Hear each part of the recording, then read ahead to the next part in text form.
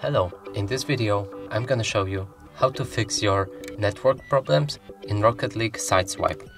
So, um, there's one way to do it and it's pretty basic so just you you need to experiment with it a bit so let's go to the settings game settings and network input buffer so um, here you can change it to slide moderate aggressive and extreme.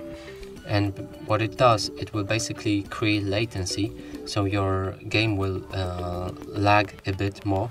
So entire game will be much more um, smoother like let's say.